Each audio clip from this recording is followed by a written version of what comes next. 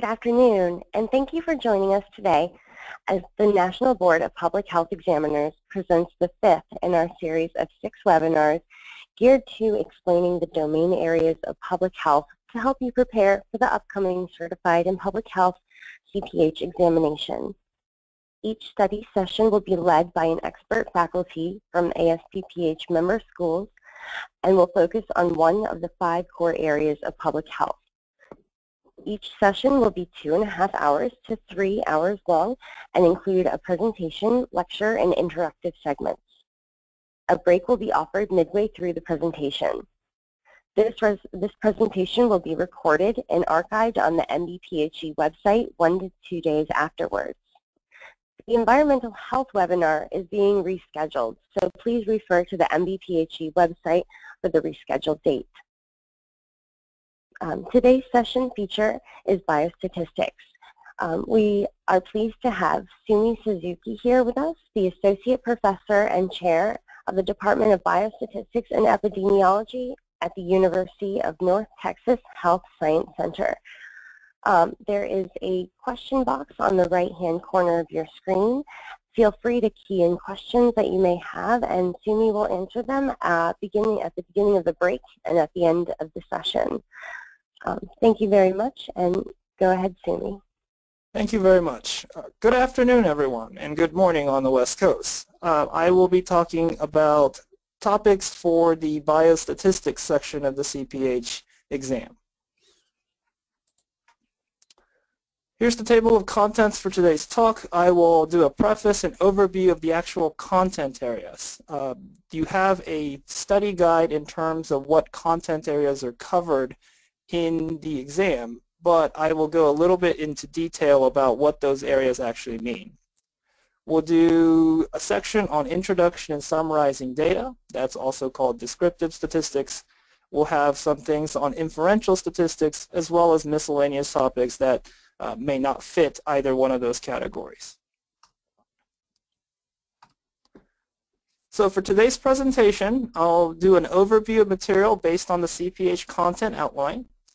This course today is intended to be a refresher and not a comprehensive lecture. So I am assuming that you have taken and passed an introductory biostat course or beyond, and I am assuming that you have some maturity in terms of math, statistics, and biostatistics. For that reason, I'm going to focus on the main ideas and methods and not give much detail about the mathematics or the logic behind many of the formulas, equations, and concepts. So just to go over, you might have gotten this from another review, but for the CPH exam, there are 200 items. Actually, there might be more. There might be tester questions now, but 30 items are biostatistics. Each item is mapped to one area of the CPH biostatistics content outline. So you want to study the content outline and not just your textbook or material from your respective biostat courses because different schools will cover different material. Now the exam is meant to just test introductory level, but schools consider some things introductory whereas other schools may not. All items are multiple choice with one correct answer and three distractors. If you see two viable choices, so you think two of them could be correct, then choose the best one the, or the more conventional one or the one that's more common in your mind. No calculations are required despite the fact this is a statistics exam or statistics section all answers uh, will be written out in equation form. So that means that, uh, for example, if you wanted to divide $100 by four people, um, and the question says how many would get, how much would each um, person get, the answer will be written as 100 divided by 4 rather than 25. Keep in mind that some very basic calculations will be required, um, addition, subtraction, but for anything complicated, it would be written out in this equation format.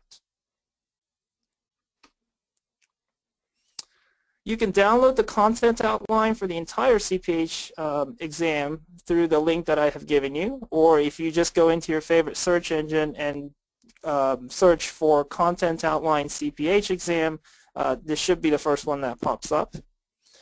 There are many things on the exam you may have um, not covered before. okay, including in the statistics section. Like I said, schools cover different things. But if you see a question that you've never encountered before, don't worry about that because you won't fail the exam for getting any one or two items incorrect. You will fail the exam for doing badly on a lot of questions. So as long as you show a general understanding or competence in biostatistics, then you should be fine for the biostat items on the exam. So if you take a look at the content outline, you can tell that the contents listed are very broad. They're just either one or two words, and they are very broad in the area. So if you either do a search engine uh, search for that keyword, or if you look at your textbooks for that keyword, you're going to get a whole slew of things under that one item. So the first thing I'm going to do is kind of go over each one of those content areas and talk about what do we really mean by one of those content areas. I'm going to label each content outline as BIOS 1, so that would be the first um, content outlined in the biostats section of the content outline. Uh, it should say visualizing data. So what do we mean by visualizing data? That's somewhat of a broad term. So we mean a few things. Uh, we usually mean graphs and curves when we're saying visualizing data, but it could also be tables. So things you might encounter are bar plots for categorical data, histograms for continuous and ordinal data, box plots or box and whisker plots for continuous data, possibly with outliers or skewed data. Um, I'm going to cover what some of these keywords that are written here mean in a bit, uh, but those are some of the areas that we cover in data presentation. Kaplan-Meier, this is uh, terminology you may not have heard before. This is uh, curves done under an area called survival analysis or survival data. And this covers time to event data. Now, as some of you may not have covered survival analysis in your intro classes, I will go a little bit more deeply into survival analysis toward the end of today's talk. For simple regression lines, we mean can you graph or can you depict a linear relationship between two continuous variables x and y. One's called the independent, the other's dependent. BIOS 2 says descriptive statistics.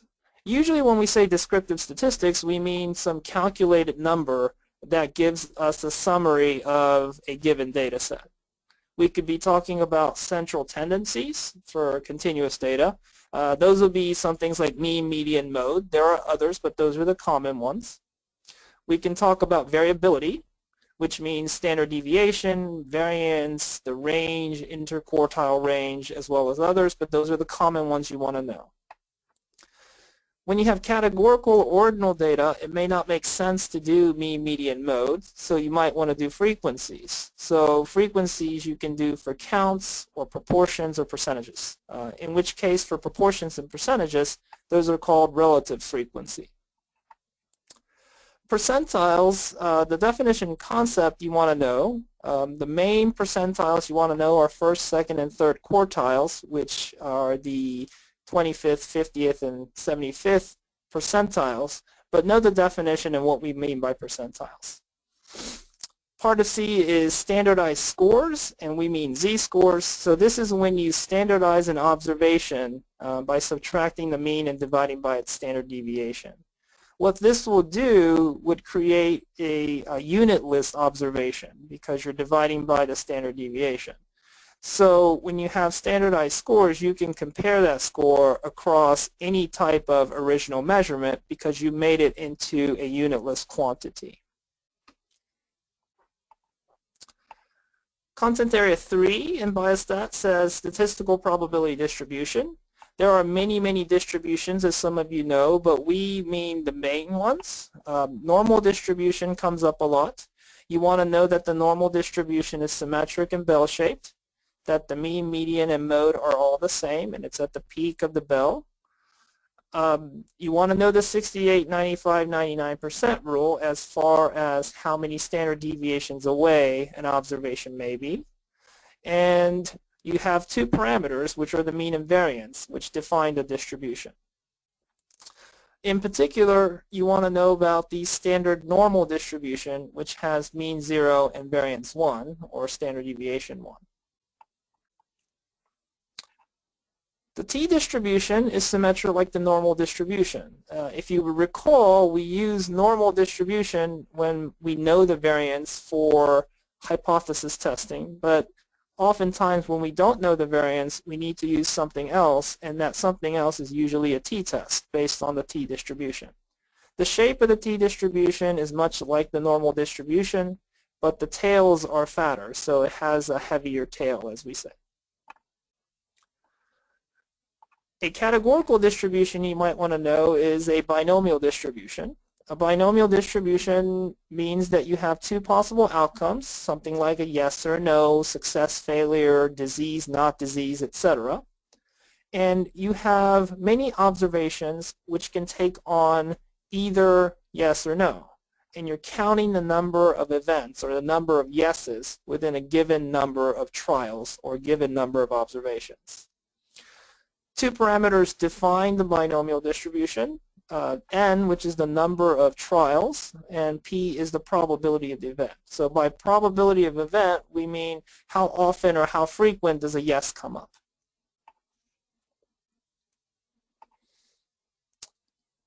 The chi-squared distribution, uh, you certainly want to know the shape and the fact that it's skewed, um, but the main application for the chi-squared distribution is used for the chi-squared test for independence or homogeneity. This is when you have two categorical variables, and most likely uh, it would be set up or it can be set up as a contingency table, and you're trying to determine whether or not two categorical variables are related or not. Another categorical distribution you may want to know is the Poisson distribution. This is similar to the binomial in that it's counting whether or not an event occurred or not. But the difference between the binomial and Poisson is the fact that in a Poisson, there is no set number of trials or events. You are just counting the number of yeses or events that occur for infinite number of trials, so over a course of time. It's usually used for a rare event. That's a key word that you want to look for when you're dealing with Poisson distribution. So if you hear rare event, that's probably Poisson. The Poisson distribution is defined by one parameter, the mean lambda, uh, and the mean for Poisson distribution usually indicates how frequent the event occurs. One property about the Poisson distribution is that the mean is equal to the variance. So if the mean is lambda, and then the variance would be lambda. The final distribution on your list is the F distribution. F distribution is shaped similar to the chi-squared distribution and then skewed. Your main application for the F distribution would be for an ANOVA F test for a one-way ANOVA or two-way ANOVA, as well as in linear regression, you have an F test in your ANOVA table.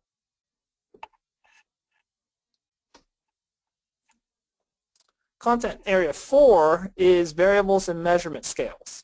So this could mean uh, a few things, but what we mean is in terms of can you distinguish a qualitative variable versus a quantitative variable. Qualitative variable may take on many forms. It could be categorical. Categorical means that it has categories of usually three or more. Dichotomous means two categories.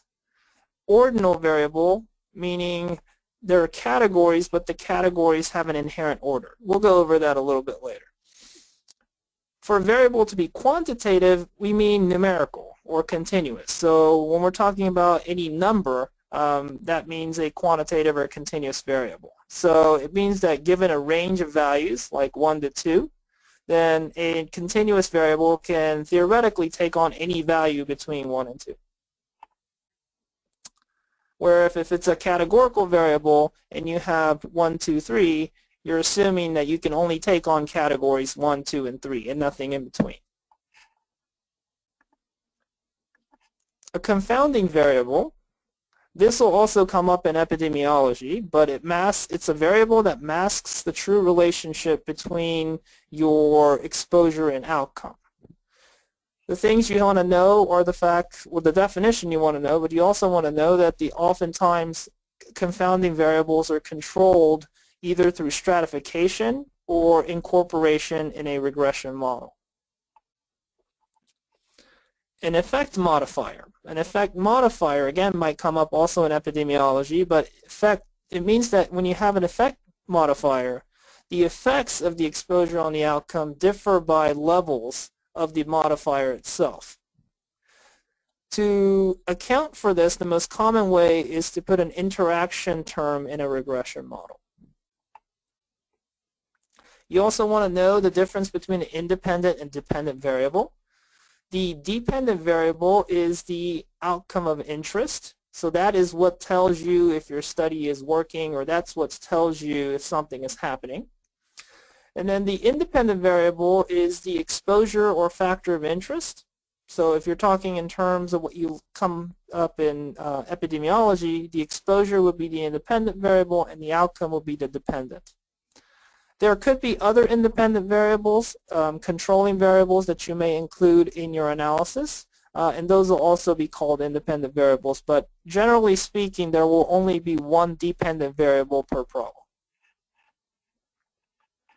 Measurement scales. Um, in general, we recognize four types of measurement scales, nominal, ordinal, interval, and ratio scales. These indicate the hierarchy of information given a measurement. And we'll talk about that a little later as well. Uh, with 5, BIOS 5, there's measurement. So the two things on there is reliability and validity that you want to know. Okay reliability means consistency of measure. So are similar results produced under similar conditions?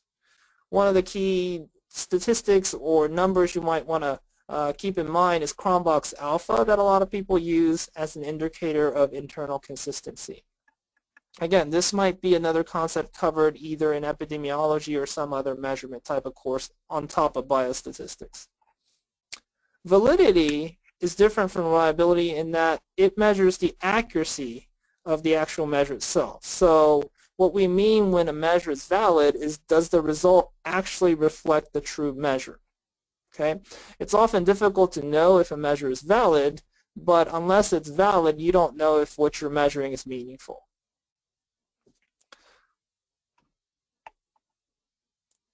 I've combined content area 6 and 12 because it's kind of related. Uh, it takes, talks about estimation and confidence intervals. I think in the content outline, by estimation, what they're meaning is point estimation. So if you wanted to estimate the mean of a population, you would use the sample mean, for example, x bar. Um, and then in confidence intervals, what we're doing is interval estimation. So that's why I've actually combined the two. Things you want to know from this area is sampling theory and central limit distribution, or sorry, central limit theorem. Um, central limit theorem says that the sample mean follows a normal distribution as long as the sample comes from a normal population or the sample size is large enough. This is a fairly key result that allows us to use many of the tests that we do in statistics. For 6b, estimation of population parameters, like I mentioned a little earlier, this means that you're going to use x bar, sample mean, to estimate population mean, right? Because most conclusions we make is about an unknown feature of the population. You want to know the mean of a population, so you do a study. If you already know the mean of the population, there's no point in the study or collecting observations. But we obviously can't collect all observations from population. You can't sample everyone from your city, for example. But what we do is take a sample, and based on that sample, we would make a conclusion about the population. To do that, we're going to estimate some feature about the population, which, called the, which is called the population parameter. And by estimating this feature or parameter, we have a better idea of the population. Okay. The one exception that you might think of where the entire population is used as a sample is the U.S. Census, where we actually count every single person living in the U.S. That would be um, equivalent to sampling the entire population. But in general, when you're sampling, you just take a part of the population and analyze it. For confidence intervals, uh, this gives you a range of values in estimating. Okay, A sample statistic like the sample mean or x bar gives you one value. So it's essentially like shooting a, shooting a dart and trying to hit the target with one shot. Okay, so you don't really know anything about the precision of the estimate that you have. But if you use a confidence interval and give a range of values that's plausible, then you have some idea about, okay, how good is my estimate? For example, if the interval is very wide, then you're not that confident maybe about your uh, estimate because there's a wide range of values that your estimate could take. Whereas if your confidence interval is narrow, then you have a pretty good idea of what the estimate is. Okay? And the confidence interval gives you, uh, in terms of probability, your level of confidence. That's the 95% confidence interval that you see a lot of times. 7, 8, and 12 on the content outline for biostat are all related to hypothesis testing, essentially.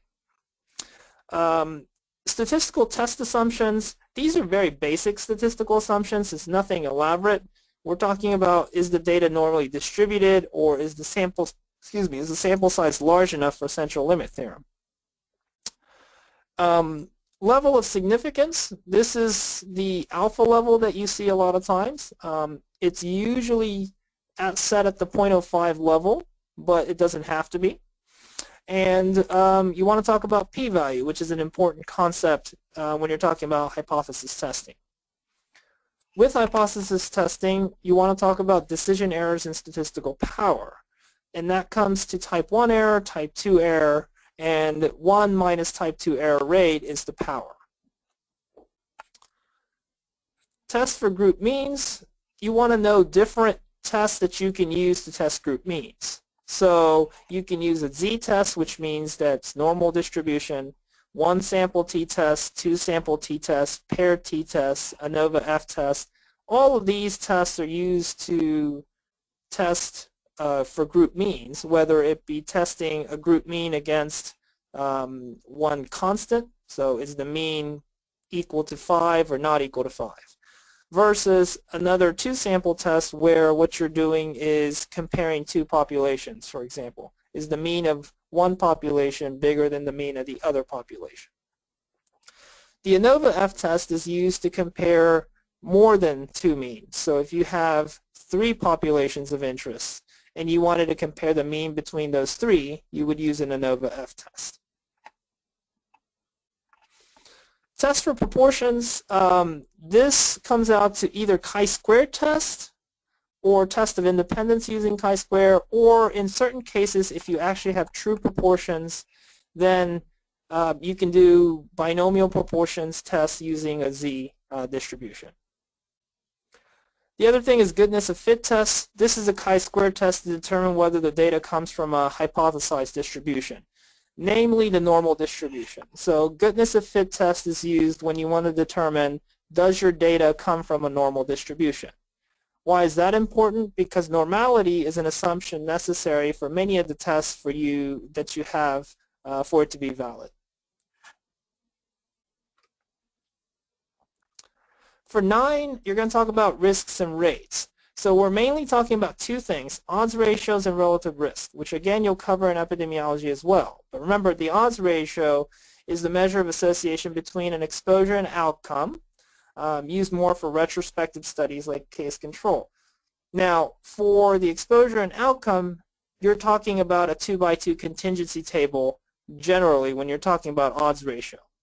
So um, you wouldn't use odds ratio when you have continuous data. You'll use it when you have outcomes that's dichotomous and exposure that's usually dichotomous as well.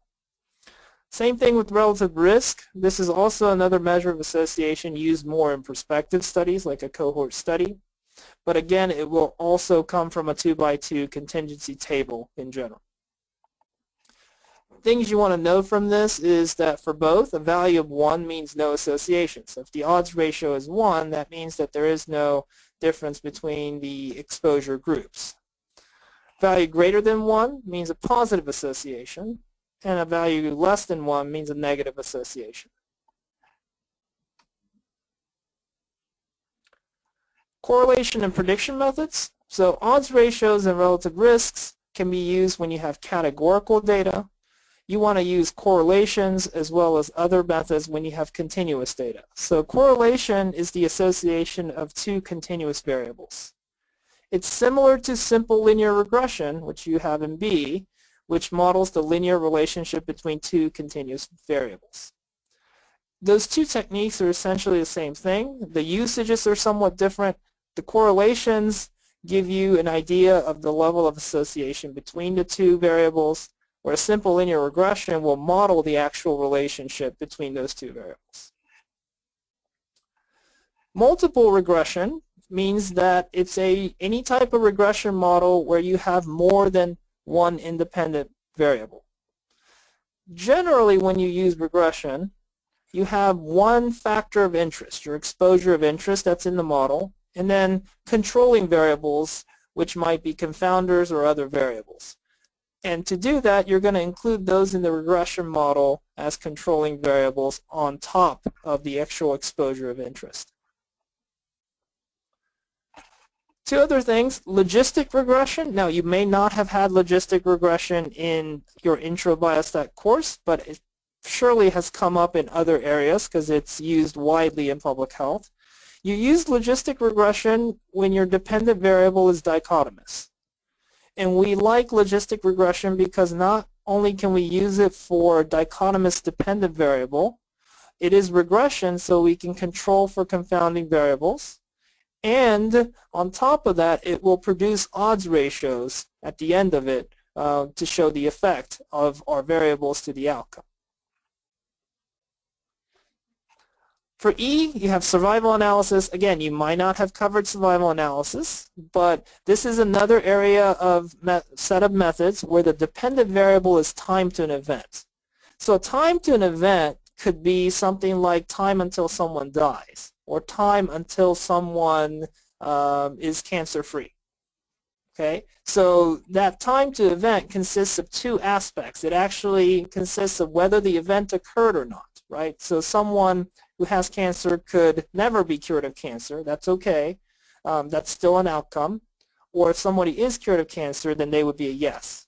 But on top of that, there's a time component. So how long did it take for that cancer to get cured? If it never gets cured, then um, we say that the observation is censored. Okay, so the event didn't occur, but we stopped observing them. We model survival with Kaplan-Meier curves. That came up in content area 1 as well. Uh, and then we can compare groups in terms of their survival experiences using something called a log rank test. And again, we will have a small section on survival analysis toward the end of today's talk. Okay, so that's the content areas that you have. And what I gave you are just some of the key words, key concepts, and key terminology that are associated to those areas. So if you are studying the content area, those are some of the areas that you want to make sure that you have um, ready for the exam. So what I'm going to do now is delve a little bit more into the content area itself and break down some of the concepts that are important as well as maybe confusing to some of you. And we're going to start with the descriptive portion of the data. So we're going to talk about the introduction and summarizing of data. And then we'll get into inferential statistics or the actual application of statistical methods later. Okay, so just an overview. Remember what the goal of statistics is.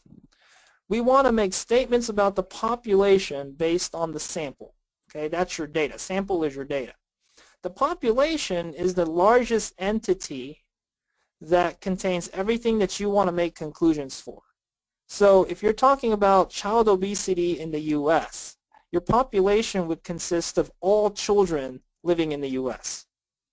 Now, you have to sample if you want to study that because you can't possibly go get a sample of all children in the U.S. So we sample a small portion. And so the diagram that I have below shows sort of the schematic of how statistics works. So you have a population, that's your largest entity of observations that you could collect. From there, you uh, get a small subset or a sample from it, and you apply some type of sampling technique like a random sample or a convenient sample or whatever to get the sample, then once you get the sample, you can characterize that sample using descriptive statistics like X bar or sample standard deviation. Then we can use inferential techniques to that sample to infer a conclusion about the population. So that's when you do your hypothesis testing, that's when you do your confidence intervals, that's when you calculate your p-values, etc., to make conclusions about the entire population, not just about your sample. The rationale is that if your sample is representative of the population, then whatever conclusion you make about the sample should carry through to the population itself.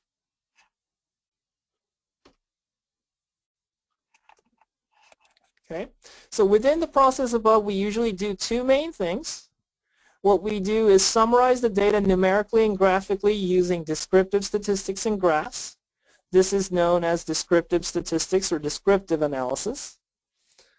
Then after that, we try to make statements about some feature about the population after analyzing the data. This is called inferential statistics. We have various methods and techniques that exist for both. Um, but choosing the appropriate method depends on the type of variable analyzed and what type of information do we get from the variables. Okay, so what type of data do we have? So that's the reason there is no one-size-fits-all statistical analysis plan because it's all data-driven or data-dependent. Depending on what type of variables or information you have collected, we have to use a different method to analyze it. All right, so let's talk a little bit about measurement scale because this goes to what type of analysis is appropriate. So by measurement scale, we mean levels of measurement. So these are classification that describes the nature of the information with the values assigned to variables. Okay, so another way to put it is the amount of information that we can gain from each variable depends on what type of a measurement scale we have we have four um, measurement scales in incre increasing levels of information from nominal to ordinal to interval to ratio, where the ratio measurement scale carries the most amount of information. Okay, A nominal variable are va variables which have no inherent order. So if a variable is on a nominal scale, they have categories, but the categories have no inherent order. A very common one is gender, so male or female. Uh, has no order but has two categories. Or race ethnicity, white, black, Hispanic, and other. That's four categories with no inherent order. An order comes in when you have an ordinal scale variable. So a, a variable on an ordinal scale is categorical in that it has different categories of values, but those categories have an inherent order. Okay, so a very common one is a Likert scale when you're asked a questionnaire to rank something on a scale of bad, fair, good. Okay, so you know that everyone knows that bad is worse than fair and fair is worse than good. So there's an inherent order between the three, but they are categorical in that there are no values in between. And more importantly, good and fair and bad are sort of relative terms, right? Your bad might be my fair, or my fair might be your good. It depends on who you are answering these questions. So there is some ambiguity as to the actual values itself. But no one can question the fact that there is an order. Moving up the scale, you have interval scale. These are usually continuous variables you actually have a true distance between values that are equally spaced to indicate the level of difference in ranks. Okay, so what does that mean? Remember before for ordinal scale, there was no set distance between bad and fair. But if you're talking about, let's say, temperature, okay, one degree Fahrenheit is always one degree Fahrenheit, whether you're talking about 50 and 51 degrees or 90 and 91 degrees. Okay, so because one degree is always one degree, this has more information than an ordinal scale where you have an order but you don't have a distance. The, one, the thing that distinguishes an interval from a ratio scale is the choice of an arbitrary zero. So for any interval scale or for any variable having an interval scale, the choice of zero is arbitrary. What do I mean? Well, 0 degrees Celsius and 0 degrees Fahrenheit are two completely different temperatures. Okay, but they're both 0. In a sense, that 0 is arbitrary. Okay, so that's why temperature or variable that measures temperature is on an interval scale. If you want more information than interval scale, you're going to have to go to a ratio scale. The ratio scale is again a continuous variable it has equally spaced um, intervals, but there's an absolute zero. So zero, no matter what measurement you're talking about, if it's on a ratio scale, will mean the same thing. For example, if we measure your height, if we measure your height in inches, feet, centimeters, meters, whatever, zero is zero. Okay? One is different for all those measurements, but zero means the same thing okay, if you're measuring um, height or anything that has to do with inches, centimeters, or etc. So in that sense, height has an absolute zero point. So then height would be on a ratio scale. Okay. Now, practically speaking, it may not be important to distinguish between an interval and a ratio scale for analysis purposes, but I'm pointing out the fact that there is a difference. Okay similar to ordinal and nominal. You might analyze it in a similar way, but there is a difference between those two scales. One thing to keep in mind, uh, and this is sort of a caution, when you hear ratio, you think of um, something that's A over B, right? That's what we mean when we're saying ratio. It's a fraction, A over B, or something over something. We're not talking about a ratio here. We're talking about a ratio scale. Ratio scale is the level of information. If you say a ratio variable, that's why you have to be kind of careful. When you say ratio variable, most people mean an actual ratio, like A to A over B. Okay? An odds ratio is the ratio of two odds, that type of thing. When we say a variable on a ratio scale, though, we're not talking about an actual ratio like A over B, but we're talking about the level of information in that variable. So that's something to keep in mind when you're taking the exam.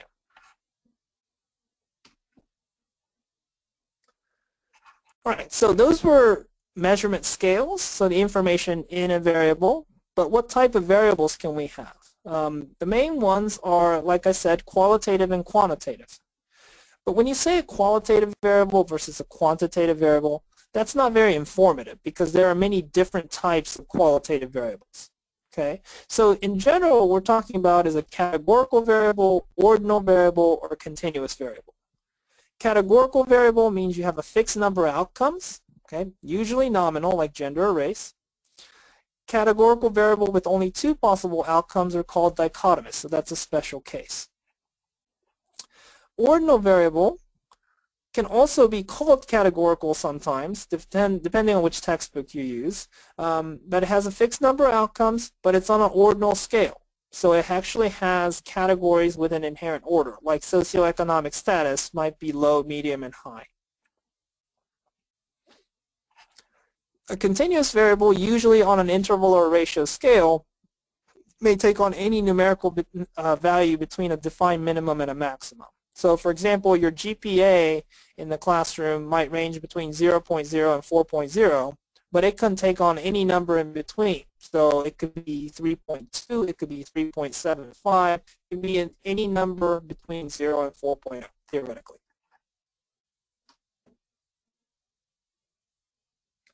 So given these different types of variables, how do we summarize these variables? Well, again, depending on what type of variable you have, how you summarize is going to be different. So I'm first going to talk about categorical slash ordinal variable and what you tend to do. Um, we tend to use frequencies, those are counts of the categories, or relative frequency, which are percentages of the categories. We can present these in table format, or we can graph them on a bar chart.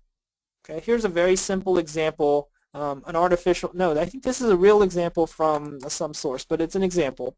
You have six leading causes for a child age 1 to 4 to visit an emergency room, and they are being, uh, falling, being struck by something, something environmental, poisoning, cuts, and car accidents. And if you gain, uh, gain information from 1,000 children, you get the following frequency. Okay? Oh, sorry, number of cases for every 1,000 children. You get the following frequency. The relative frequency is just a frequency divided by the total count there.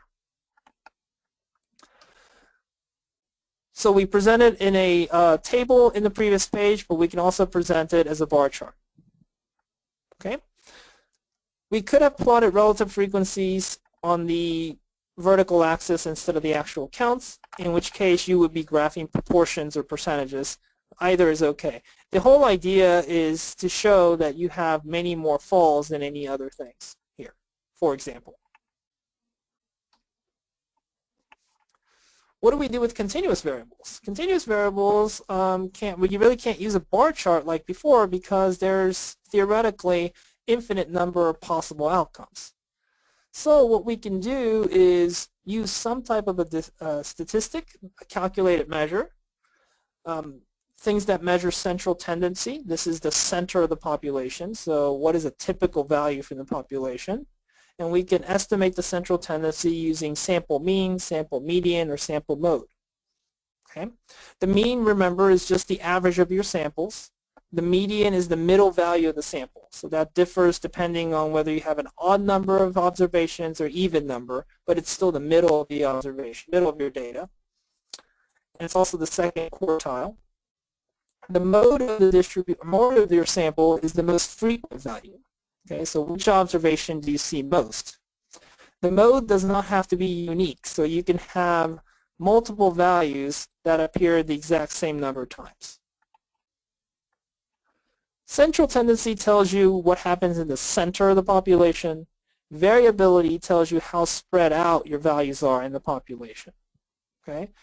Sample statistics for variability are standard deviation, variance, range, or interquartile range. Those are the main ones.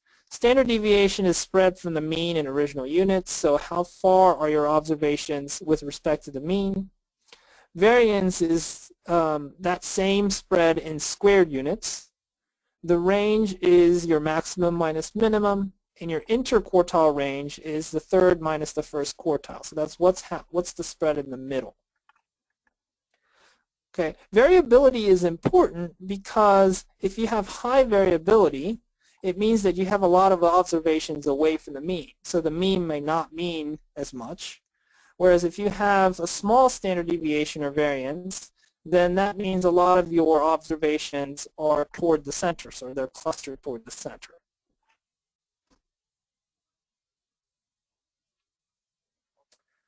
How do we graphically summarize continuous variables? Uh, we use histograms rather than bar plots. So with histograms, we're dividing our data into range of values. So for the example I have on screen, um, this is 40 to 50, 50 to 60, 60 to 70. And you're counting the number of observations that fall between those intervals. And then you're either graphing the frequency or the relative frequency like you did with the bar plot. What does a histogram help you do? It helps you determine the shape of the data. That's important because remember one of the key assumptions of many of the tests is normality. So if your histogram doesn't look like a bell curve or shape, then your data might not come from a normal distribution. Okay. Shape determines which numerical summary to use. Okay, and so let's talk about that a little bit. Okay, here are some common shapes for histograms. You have a normal distribution or symmetric distribution where you have one peak and you have a, a bell curve you can have something that's positively skewed or negatively skewed. Positively skewed means that you have um, more observation toward the beginning and less observation toward the end. Negative skewed means that you have more observation toward the end and you have less observation at the beginning. Okay. If you're going to use a measure of central tendency, for example, mean, median, or mode, the best one depends on your shape of your distribution. So in the second graphic below, I show where your typical mean, median, and mode will fall for skewed distributions and normal distribution.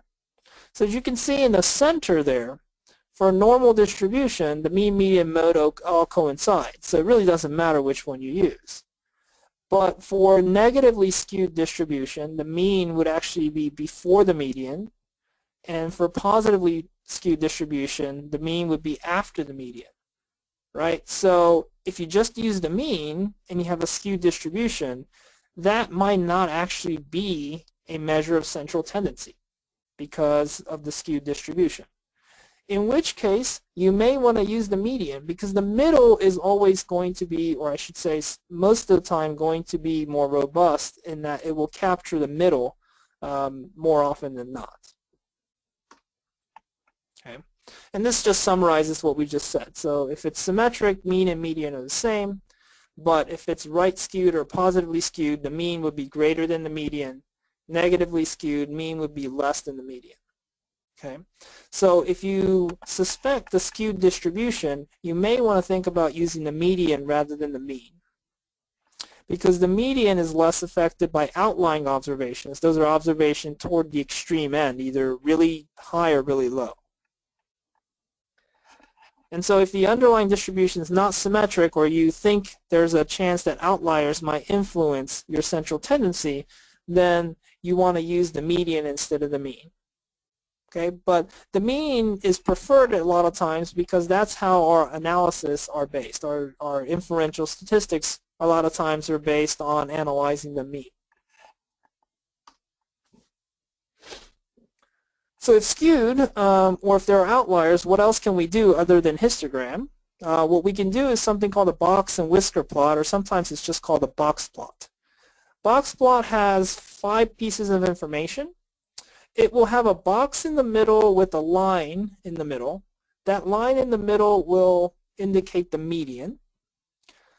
The either ends of the box will indicate the first and third quartiles of your data. And then you usually draw a line coming out of the box toward either end where toward the positive side the line will end where the maximum value is and toward the negative end your line will end where the minimum value is. Okay, and so the difference between the third and the first quartile is the interquartile range and it also shows the minimum and the maximum. If you have skewed distributions then your box plot may look like the one I have below, where normal distribution, again, the median would be in the middle. Positive skew, median might be slightly shifted to the left. Negative skew, it might be slightly shifted to the right. Okay, And box plots can also be written vertically, but the components will still be the same.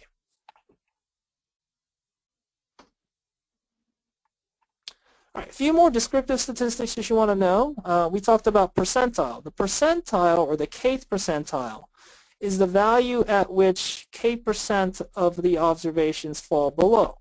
Okay, so for example, if you scored in the 90th percentile on a test, that means that you did better than 90% of the people who took the exam. The common ones are first, second, and third quartiles, which correspond to the 25th, 50th, and the 75th percentiles, respectively.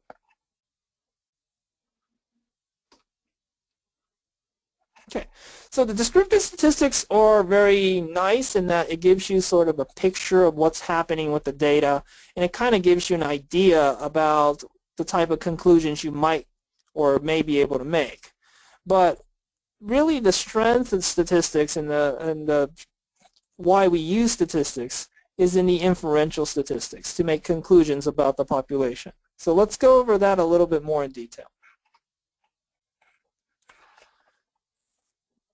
Many, as I've been saying, many of the analytical methods that you're going to use in statistics are based on the normal distribution or the assumption of normal distribution. Okay, so that's one of the underlying assumptions for the population. And normal distribution, if you were to graph the entire population, should look like a bell curve. So if you were to graph the relative frequencies of the entire population, it would look like a bell curve. Normal distributions apply to continuous data because it has to be able to take on any value between any interval. So um, it doesn't really make sense to talk about normal distribution for categorical data, um, and that's why we have different ways to analyze categorical data. Some properties about the normal distribution, we've already been saying mean equals the median equals the mode. Okay. Some other things that you want to realize that it's symmetric about the mean or the median or the mode. So the area to the left of the mean is 0.5 and area to the left is, sorry, area to the right of it should be 0.5 and area to the left of it should be 0.5. There's a typo there. Um, why 0.5 and 0.5?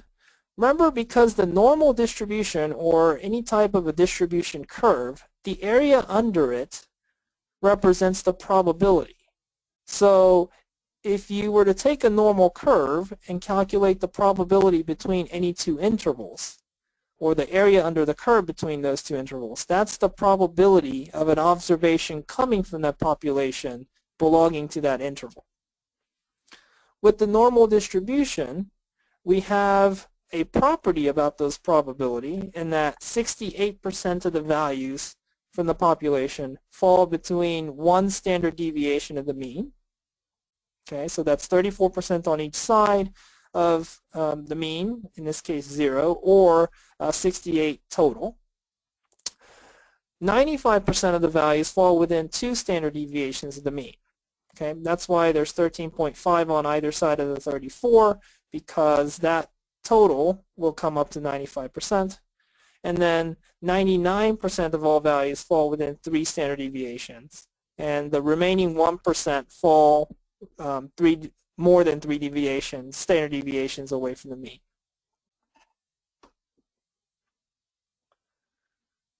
When we know we have a normal distribution, um, we can use it to calculate other things. For example, z-score. A z-score uh, is a, a quantity calculated by taking your observation from a normal distribution, subtracting the mean, and dividing it by its standard deviation. What would this do? Well, this will make z into a standard normal distribution with mean 0 and variance 1. Why is that? Because you're subtracting the mean, which means that you're shifting the center to 0, and then you're dividing by the standard deviation, to make the shape of the curve similar or same as a standard normal distribution. So this z transformation or z-score transformation creates a quantity called z-score or standardized score. And so we can transform any normal variable that we have into a standard normal variable. Okay? Even if the distribution is not normal though, a large sample size guarantees that a sample mean is normal. Why is that important? Because by standardizing the sample mean, then, we can get the standard normal distribution because, again, for larger sample sizes, you'll have normal distribution. This type of standardization is important because this is how we create the test statistics for our hypothesis tests. Okay, so we're going to take a break, uh, about a 15 minute break um, after this, but at this time I will entertain any questions you might have from the first half of this talk. Let me see if there are any questions for you soon.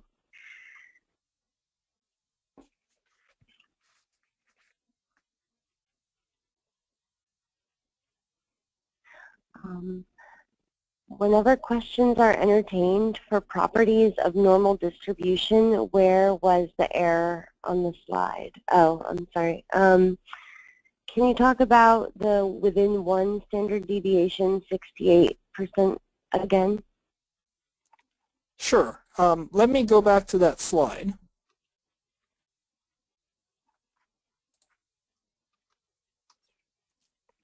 Okay, so I hope you can see my mouse clicking over the, the graph.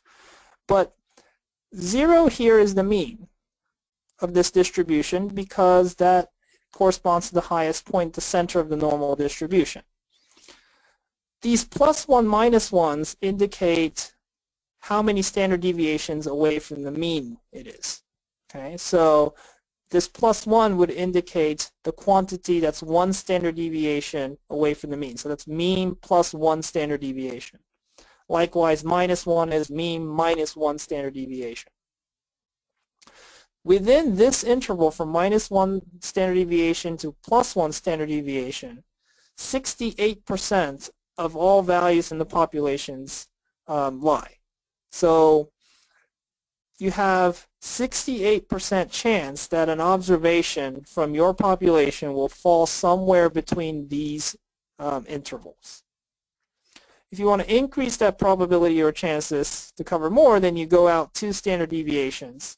And within these two standard deviations, you have 95% of the observations. Okay, so that's why it's 13.5 and 13.5, which makes uh, 27 34 and 34 68. So 68 plus 27 is 95. Okay.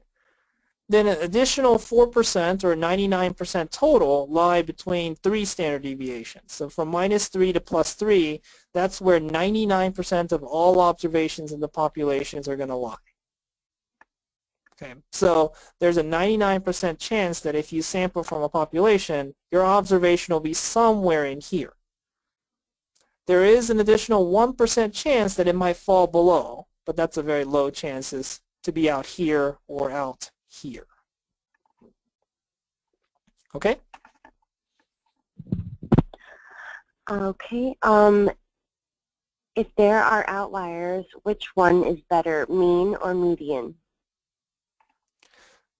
So good question. So for mean and median, uh, if you have an outlier, the general rule of thumb is you want to use the median because if you have an outlier, it will significantly affect the mean usually. So I can give you an example.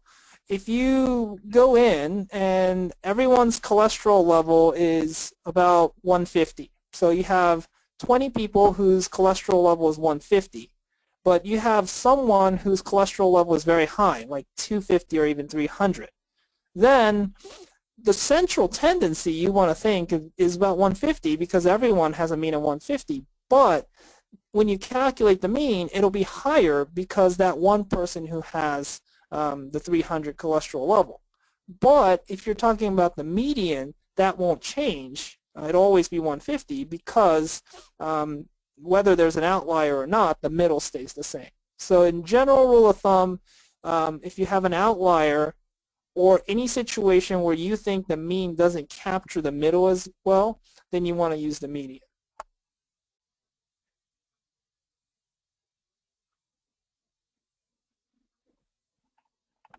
Um, I don't see any other questions, but just to let everyone know, these slides will be posted on the website and the recording as well. Okay, so then it's about uh, 2 o'clock Eastern. So let us resume at 2.15 Eastern.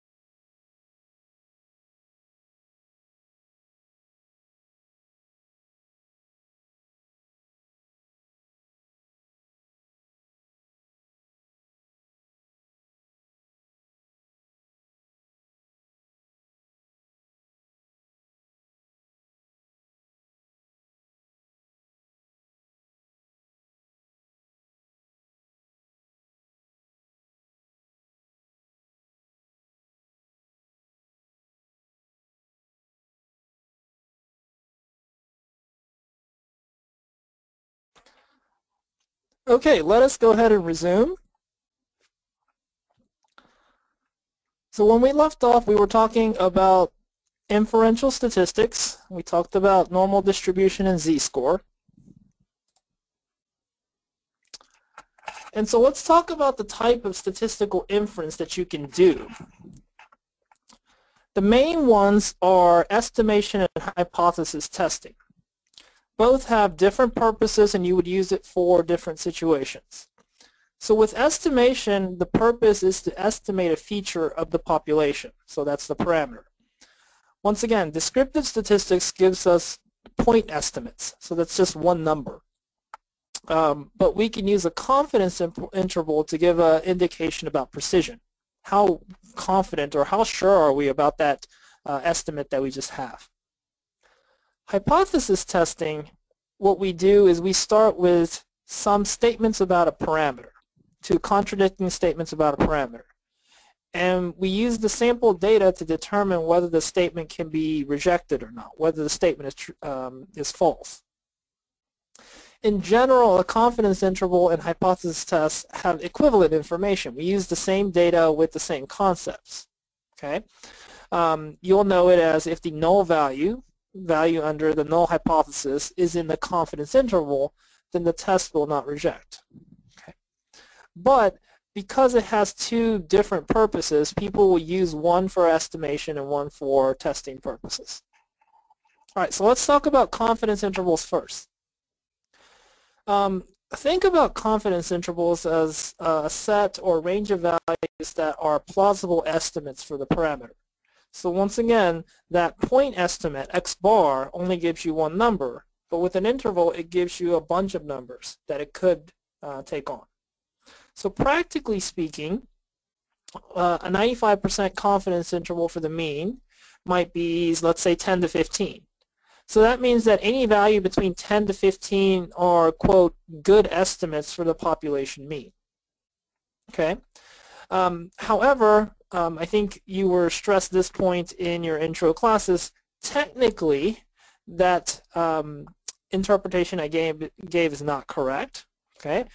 What's What's not correct is that um, statistics is about long-run results or long-run probabilities. So we can't really definitively say that the confidence interval that we have based on our data actually has is a good estimate or not, or does it even contain the population mean.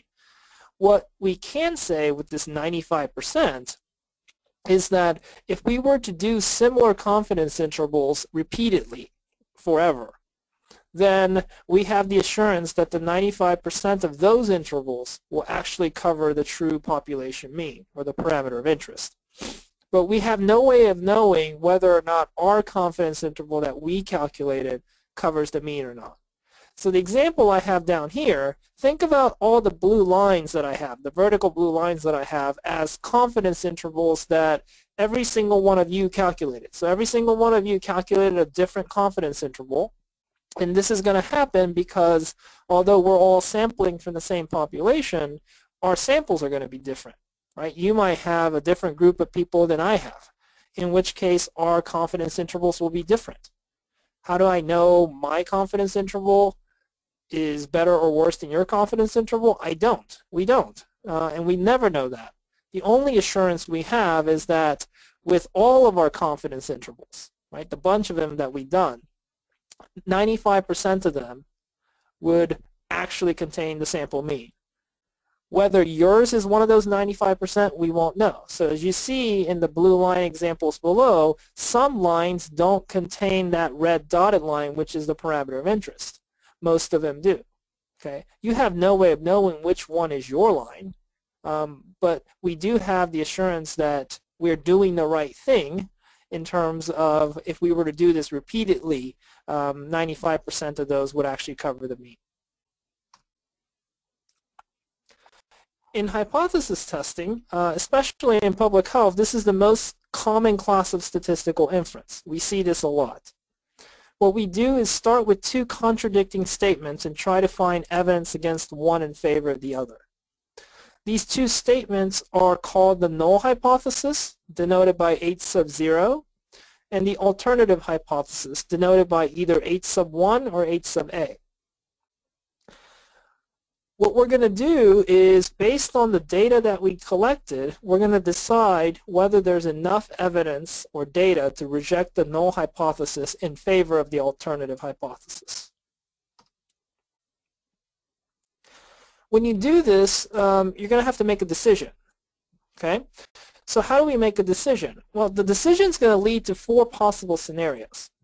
So on the left-hand column where I have H0 is true and HA is true on this table here, that is the true state of nature. So you've made contradicting statements like um, the mean is greater than 5 versus mean is less than 5 right? Those are contra well, let's just say greater than or equal to 5 or less than 5. Those are contradicting statements. One of them is true. They can't both be true. Okay? So you don't know which one is true because if you did, there's no point in doing the test. There's no point in collecting data. You already know the answer. So in general, the first column, you don't know, but one of them is true. Okay? So suppose the null hypothesis is true. Again, which you don't know, but suppose it's true. Well, you're either going to reject the null hypothesis or not reject. So this top column here, this top column here, or sorry, top row here, this is your decision. You can either choose not to reject or reject the null hypothesis. If you don't reject and null hypothesis happens to be true, then you're correct. There's no mistake here. However, if you reject and the null happens to be true, you've made an error. That error is called the type 1 error. Likewise, if the alternative is true and you reject, you made the correct decision because the alternative is true and you rejected the null hypothesis. But if you don't reject but the alternative is true, then you've made an error, and this is called type 2 error. These are the four scenarios that could occur when you do a hypothesis test. However, again, you never know which quadrant you fall under because we don't know whether the null is true or the alternative is true. Okay? So what confidence do we have that we're making the right decision? Well, what we do is classify error rates. So we have type 1 error rate, that is how often type 1 error occurs, um, and we denote that as Greek letter alpha. Type 2 error rate is how often does type 2 error occur, and we often denote this as Greek letter beta. The rate at which a test correctly rejects is known as the power, and this is 1 minus beta. Now, so alpha and beta are probabilities. So 1 is the total probability, and the power of the test is correctly rejecting. So it's how often don't you make a type 2 error. That's why we're subtracting beta.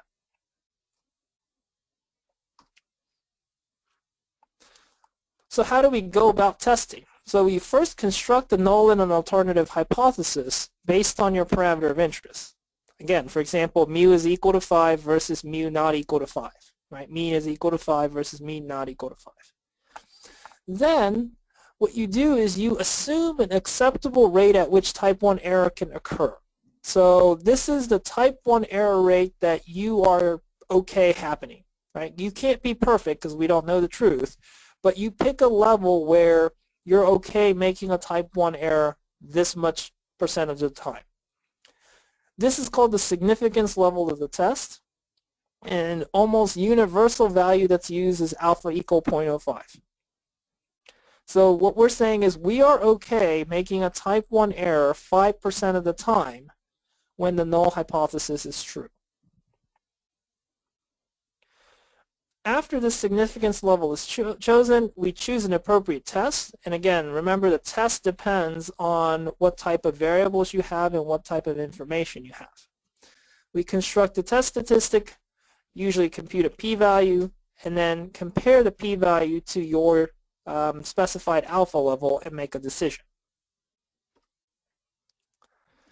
So what is this p-value? Um, formally, p-value is the probability to observe a value of the test statistic at least as extreme as what is actually observed. Okay. here extreme is often used to represent evidence against the null. Okay, so this definition is somewhat confusing. The p-value is used to measure the significance of the test. So is there enough evidence against the null to reject it? So p-value is a probability.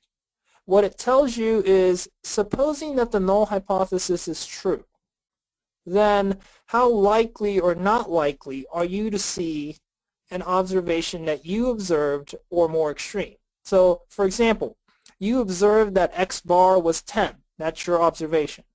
So p-value would indicate if the null hypothesis is true and the mean is, let's say, 5. The null hypothesis that the mean is 5. Under mean being 5, how likely are you, are you to see a sample mean of x bar equals 10 or higher, more extreme? Okay. Based on that probability, we make a decision. Okay. So the test is set to be significant um, if there's enough evidence to reject the null. This happens when the p-value is smaller than the alpha level. So if the p-value that you calculate is smaller than your predetermined alpha level, often 0.05, then you have enough evidence against the null to reject it. In which case the test is said to be significant. But if you don't have enough evidence and your p-value is greater than 0.05, then the test is said not to be significant.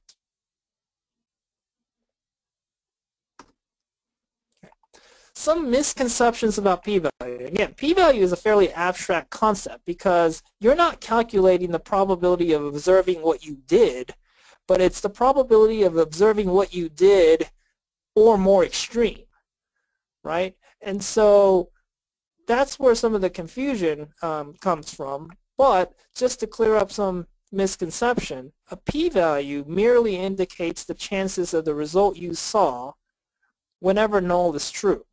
Okay? A low p-value means either that the null is true and a highly improbable event just occurred, or that the null is false. Okay? Nothing more, nothing less.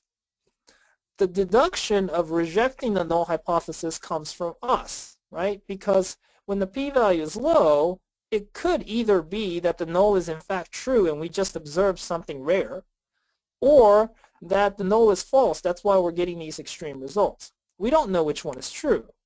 Okay, but what we're doing is saying, okay, I'm in uh, concluding that the null is false because there's enough evidence and it's probably not the situation that a rare event has occurred.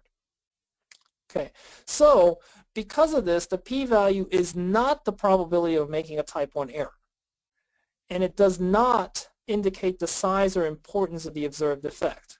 Okay, so you might have read some papers or research articles that says our p-value was very small and it was highly significant. Okay, that doesn't make the result any more important because the only thing p-value does is indicate under the null hypothesis how likely or unlikely the event is. It doesn't tell you how likely the alternative hypothesis is. Okay, that's where the mistake happens a lot of times. All right, so now that we know sort of the way you conduct a test, how do you choose the correct statistical method? Okay, so the fundamental question you should ask whenever you're conducting any statistical test is, which test should I use? And the answer depends usually on the type of the dependent variable and oftentimes the type of the independent variable as well. Okay, um, as well as the answer depending on the parameter of interest. So for example, in testing whether two group means are different, we can think about this in one of two ways. You can think about it as the dependent variable is continuous and the independent variable is dichotomous. You have two groups. Okay, so you have some variable indicating which group you belong to, and then the dependent variable is some continuous measure. Or another way you can look at it is you have two parameters, mean of the first group and the mean of the second group. These are the theoretical means that you don't know, the mean of the population. Okay. Then we would test the null hypothesis that mean 1 equals mean 2. Okay. Either way, the correct test is a two-sample test of means. So when we're talking about tests for group means, okay, the scenario is that you want to know if there's a difference in population means between several groups. If you only have two groups and the population variance is known, you use a two-sample z-test. Now, the population variance being known is somewhat rare, but if you do know it, you can use the z-test or the test based on the normal distribution. If you only have two groups, but the population variance is unknown, use a two-sample unpaired t-test. Okay? And if you have more than two groups, use ANOVA F-test. And for all tests, the null hypothesis is that the group means are the same versus the alternative that at least one group mean is different.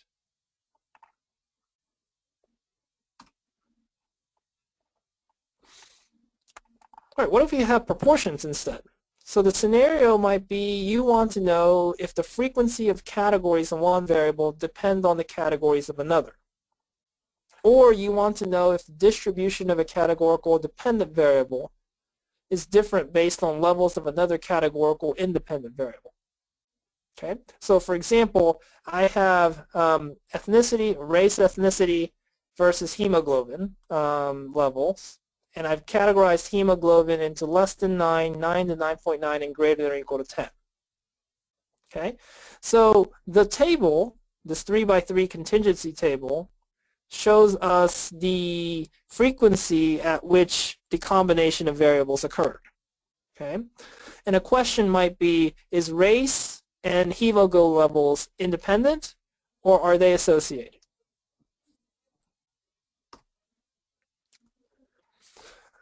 Your null hypothesis would be that the variables are independent, so hemoglobin level and race will be independent or there's no association. The alternative would be that the variables are dependent or associated. Okay, you might hear either words, association or independence. What you would use is a chi-square test and statistics computed from observed and expected counts. The degrees of freedom of the test is number of rows minus 1 times number of columns minus 1. That's the R and the C. Same test may also be called test for homogeneity. So test for independence and test for homogeneity, the statistics side is the same. Your interpretation is a little different. In test of homogeneity, you're saying is the distribution of um, hemoglobin levels different between the various races. Whereas for test of independence, you're saying, is there an association between race and hemoglobin level? Either way, the test will be conducted in the same way. Um, goodness of fit test. This is often used to test whether or not the distribution that you're dealing with uh, from the population is normal or not. It's an application of the chi-square test. Um, the scenario is you want to know does the sample you have come from a hypothesized distribution. Okay, so a simple example would be if you have a dice or a die and it's six-sided, you want to know if it's fair. Okay, if it's fair, um, any numbers one through six should observe should be observed in equal numbers or close to it. Okay, so what you're going to do is co compare the observed counts that you have of the die versus the expected count uh, using a chi-square test. Okay. So this would be um, an application of the goodness of fit test, but a very elementary one. A more practical one would be for continuous data. You would divide data into intervals, then compare observed and expected using chi-square tests. So this can be used to test whether or not sample comes from a normal distribution.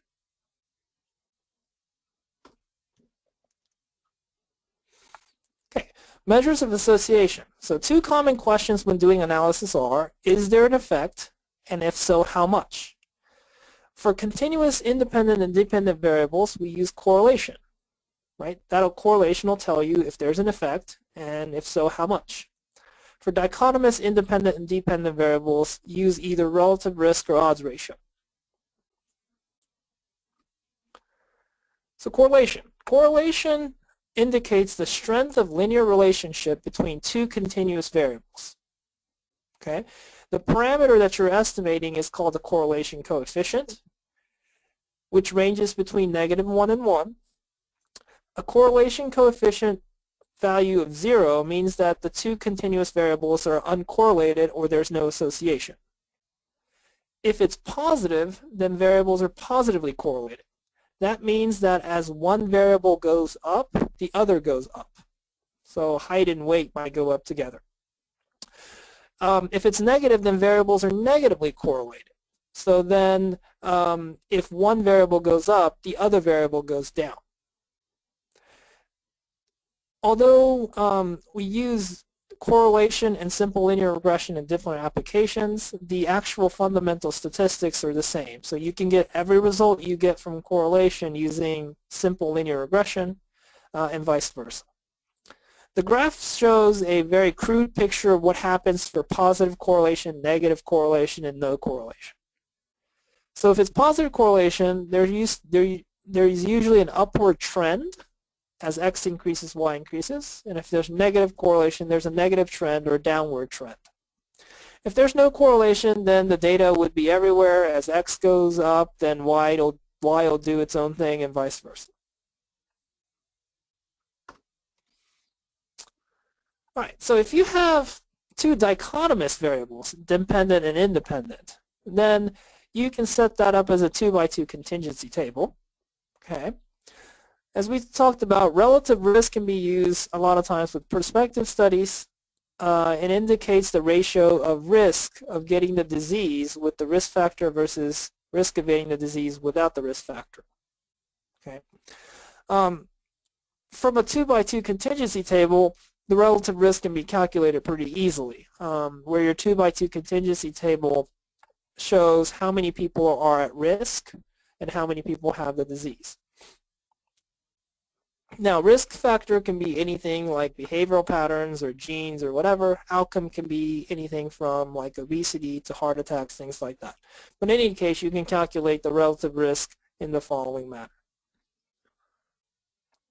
Just a, a bit of advice, um, don't remember the formula per se, but remember what the relative risk means because sometimes contingency tables may not be written as I have written it. It might be written where the risk factor and the outcomes are switched. Okay? Or it may be written in text format where there is no table given but the values are given. But if you remember or if you understand the concept of relative risk, the numbers that you need should be easily extracted.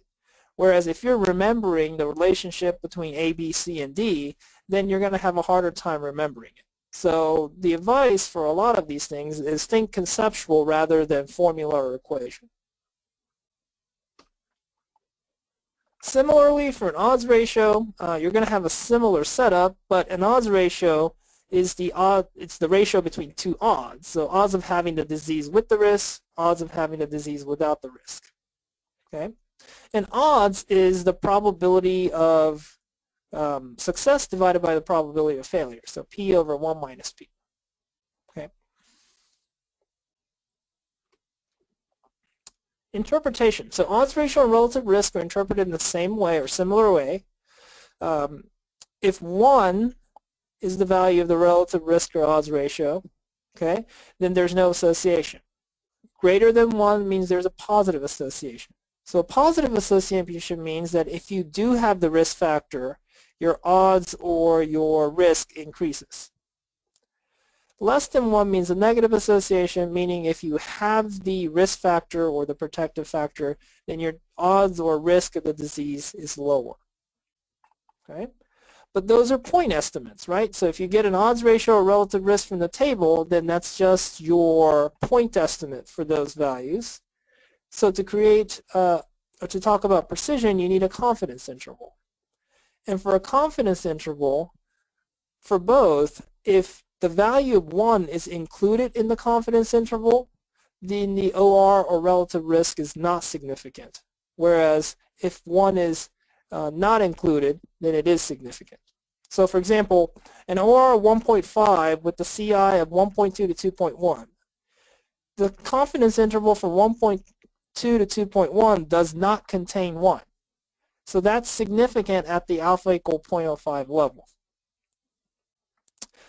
But relative risk of 1.2 where the confidence interval is 0.7 to 1.3. See, that contains 1 in the middle.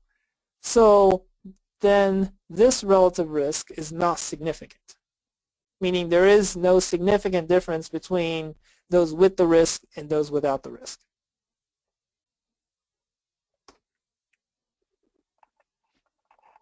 Okay. Um, another type of analysis you might do is linear regression. This is when you have an independent variable x and dependent variable y that are both continuous. And similar to correlation in that we're analyzing two variables, but um, the goal is to model these two variables as a line. Okay. Now you all know your line um, formats or formula from your days in algebra, but it'll take in take on the mx plus b format. I've denoted as beta 0 plus beta 1x. Okay. Um, what you're doing is that the data points that you have from your sample are, are points on an xy plane. And you're going to use something called the method of least squares to find a line that fits well. Okay. A typical graph might be the one you see. So what do we mean by fits well? Well, we can talk about fit in terms of various distances from um, points to the lines. Okay, so this graph you have here, I'll try to go over with my mouse here. This horizontal line you see is y bar, so that's the sample mean of y from your sample.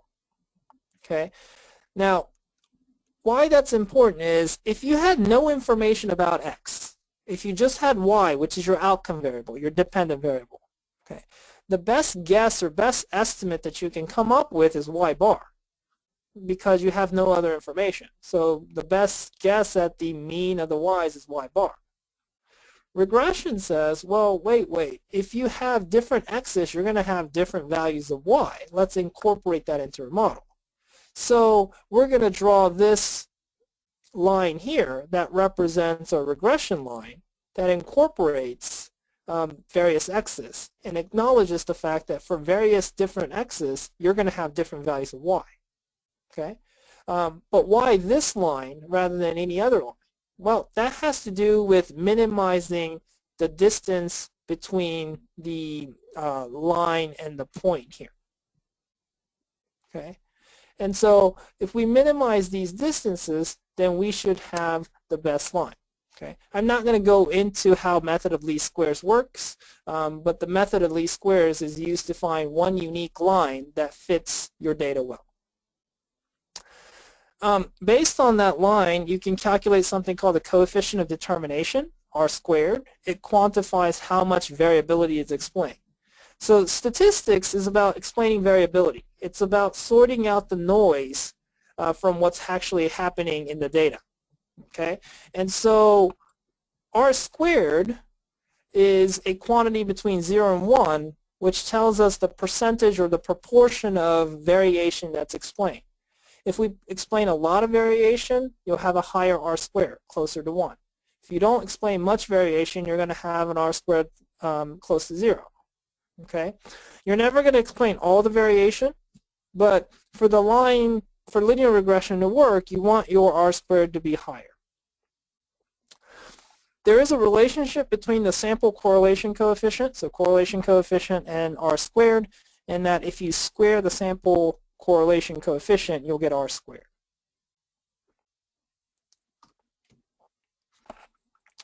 The main parameter of interest in regression is the slope beta 1. Okay, Beta 1 tells us the relationship between x and y. And remember those two questions that we're interested in. Is there an effect? And if so, how much or what is that effect? So beta 1 tells us both of those things. Okay. If beta 1 is greater than 0, then x and y are directly proportional, so they're positively correlated or positively associated. If beta 1 is negative, then x, y are inversely proportional or they're negatively associated. Whereas beta 1, if beta 1 is 0, then y and x are not dependent on each other. So there's no association. Okay? So if we conduct a hypothesis test about the beta 1, then we can tell whether the difference um, away from zero is significant, in which case there will be some sort of association, and then the sign of beta 1 will tell us whether that's a positive association or negative association. Now, you can analyze beta 0 as a parameter as well, the intercept, um, but we usually don't. That doesn't tell us much about the, the relationship between the two variables. Okay, so you use linear regression when you have a continuous x and a continuous y. Very often times, though, in public health, your dependent variable y is not going to be continuous. Rather, it's going to be dichotomous. So someone has the disease or not. That's a dichotomous variable. Okay, so we want a way to analyze a dependent variable that's dichotomous, yet not restricting our independent variable to be categorical. Because remember, we had a 2 by 2 contingency table where x and y were both dichotomous. We know how to handle those. We can do either relative risk or odds ratio. But in the case that the dependent variable is dichotomous, but the independent variable might be continuous, we need another method. And that method is uh, oftentimes, uh, what's the most common is the logistic regression. Okay, Just a little bit of math here, but we model the probability of P of getting a 1. So we model the probability of success, okay, using um, your regression format of beta 0 plus beta 1x. Okay. This is very popular in public health because you can show that once you've got your estimates, if you do e to the beta 1, so e is your exponential function, so e to the beta 1, that's equivalent to the odds ratio when x increases by one unit. Okay, so beta 1 represents the change in log odds when x changes by one unit. So e to the beta 1 is the odds ratio between x and x plus 1.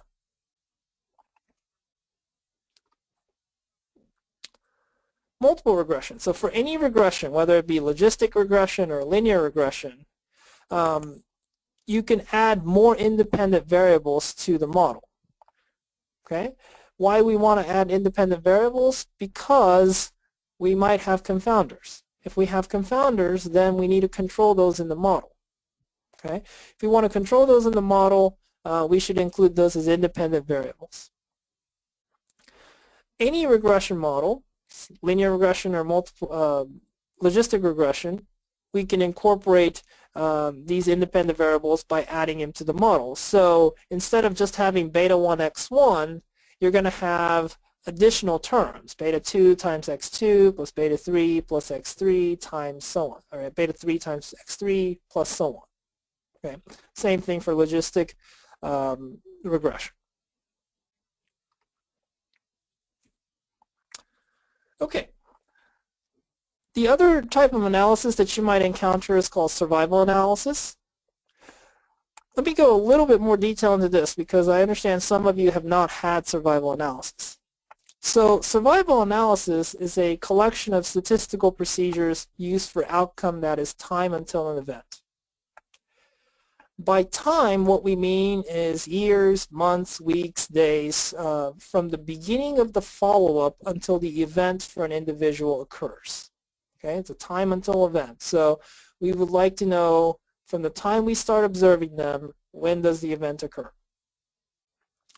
Alternatively, time may refer to the age of an individual. So you might start observing someone um, from birth or from some age until the event occurs. So instead of um, months, weeks, or years, like time, you might just look at their age. An event means anything that's of interest to you. So it could mean death, and that's the original application of survival analysis. They were looking at mortality. Um, but it could be disease incidence, right? How long does it take for someone to develop a disease? It could be something like relapse from remission. It could be recovery. It could be how long you take to go back to work after a work-related injury. Okay, It could be anything that measures time until some event occurs. Um, and here, event means only one thing. So we're talking about uh, one particular event, does that occur or not?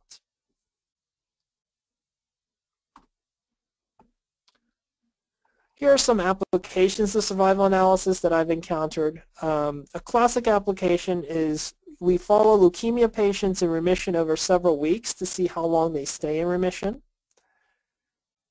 Uh, another study that follows a disease-free cohort of individuals over several years to see who develops heart disease. Uh, a parolee's time until rearrest or a heart transplant patient's time until death. Okay.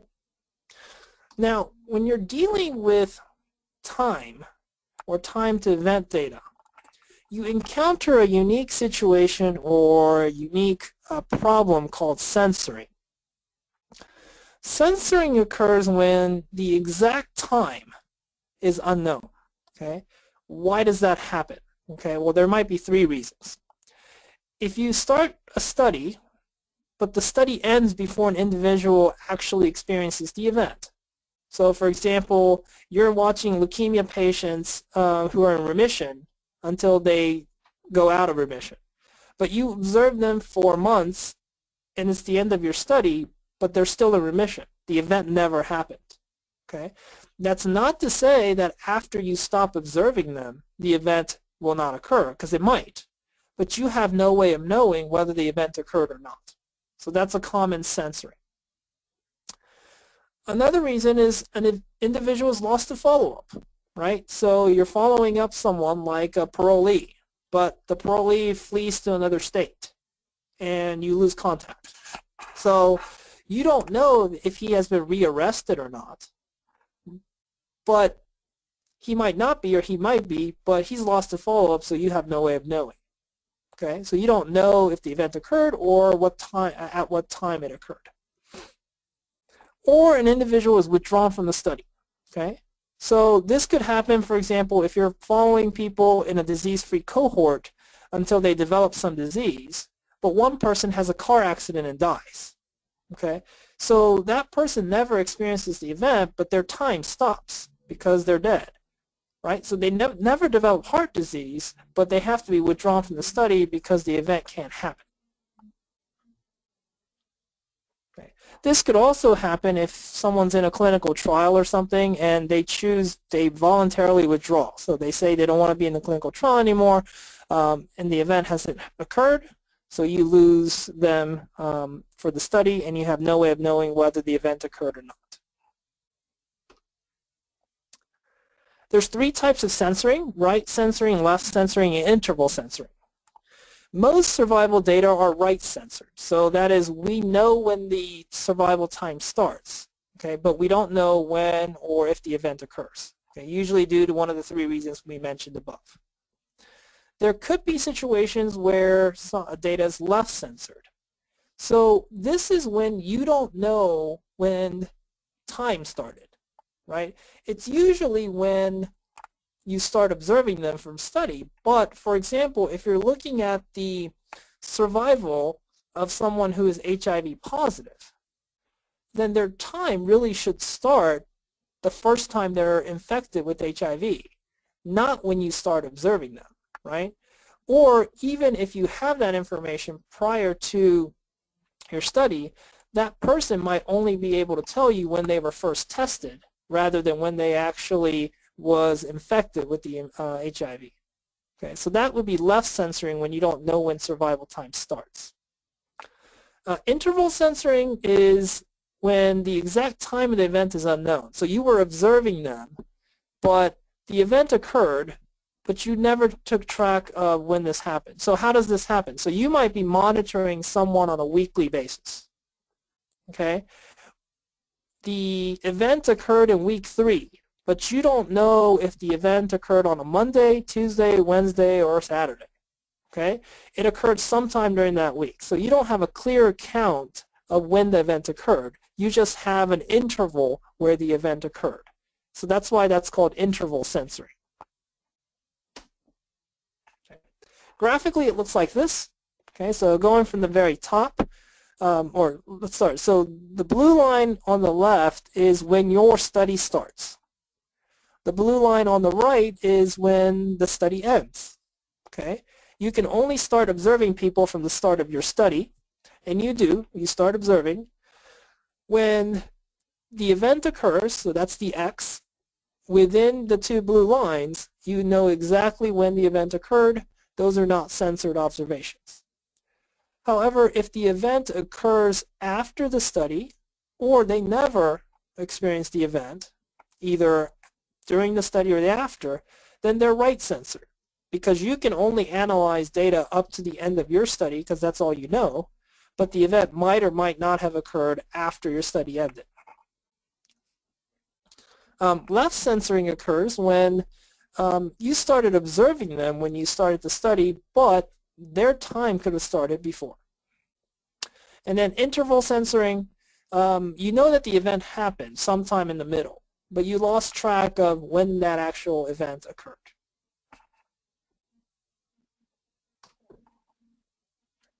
So why do we use survival analysis? The general goal of survival analysis is to analyze what we call the survival experience of the population of interest. Okay? Survival experience is captured by a survival function or survival curve. Okay? In theory, survival curves are continuous and smooth. So if we were to graph the survival experience of everybody in our population, everyone would be event free at the beginning, but over time, it's assumed that everyone will experience the event, okay, theoretically. But practically, when we actually do the study, there's a beginning to the study and there's an end to the study. So not everyone will experience the event. So instead of a smooth curve, what we're going to do is a step curve. And this is called the Kaplan-Meier curve or Kaplan-Meier estimator what happens in this graph is the graph starts at 100% because everyone is incident free or event free at the beginning. You observe them during your study and at a certain point someone's going to experience the event. At that point the number of people who are still event free reduces to this much here, the next horizontal line. Again, you observe them for some time, and at a certain point, another person or two experiences the event, and the percentage of people who are event-free goes down. This continues until the end of your study, where certain certain number of people have experienced the event and certain number of people have not. Okay? If everyone experiences the event, this step function will go down to zero. Okay, but oftentimes in most studies, not everyone will experience the event, so it will end with uh, a non-zero percentage here. Okay, whenever there are more more than one um, person or observation that experiences the event, the step is actually higher. So you see that this step here, where I'm pointing to now, is higher than the step here, the next step. That means that this higher step, at this time where this higher step occurred, more people experienced the event than this lower point.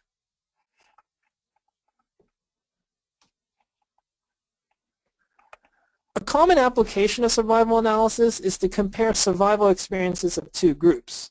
Okay, so the example I have is um, time until remission for leukemia patients, one receiving a new treatment, other receiving standard of care.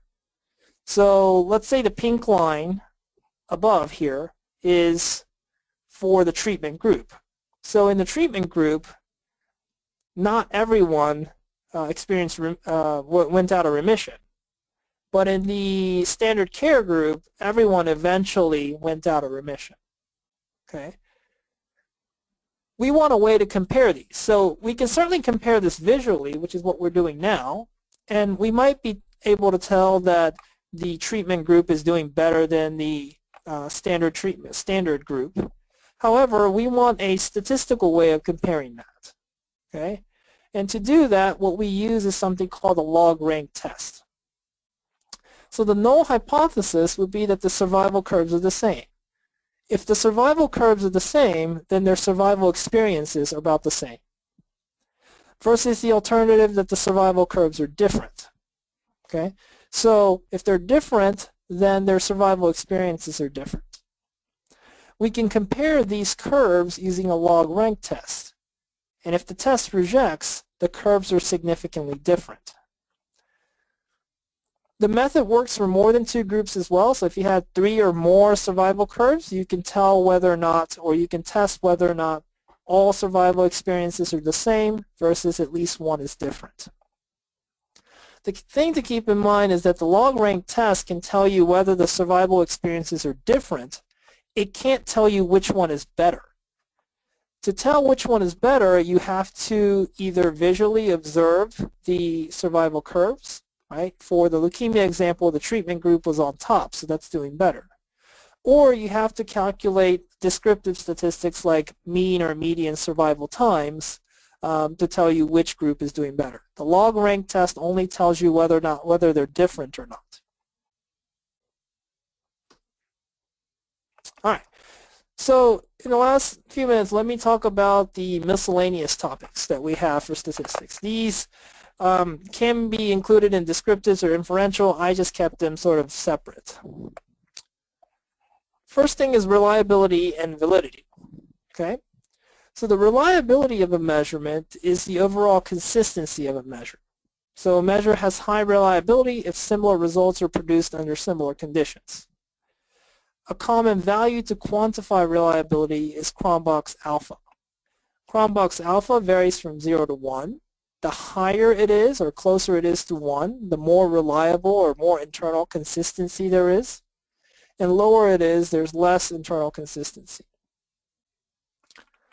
High reliability does not necessarily mean the measure is accurate, i.e. not necessarily valid. Okay.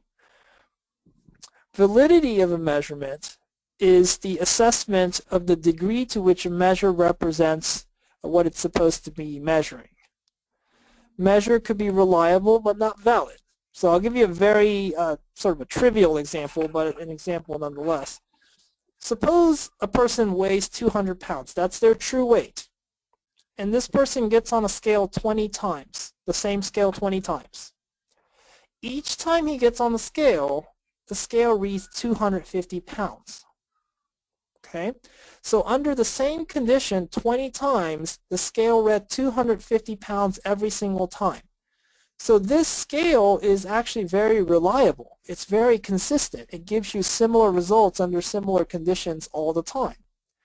However, because he weighs 200 pounds and not 250 pounds, it's not measuring his true weight. So this measure or this scale is actually not valid. Okay. So in general, an unreliable measure cannot be valid because if it's all over the place, then um, you're not going to have an accurate measure. Okay, Validity is harder than reliability to attain, um, but for you to know that you're measuring the right thing, you need validity, not necessarily just reliability.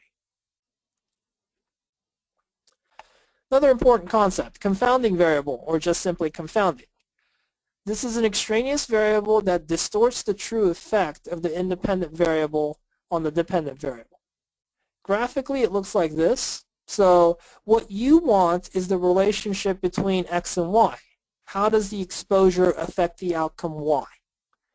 However, what a confounder does is that it affects both x and y, and the true relationship between x and y is masked. So for example, um, high, excuse me, for example, high calorie intake may be associated to high BMI. So people who eat more might have a higher BMI.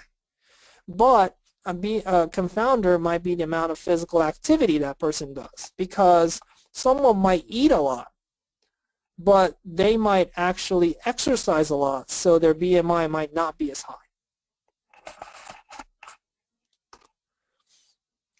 Ways of controlling confounding.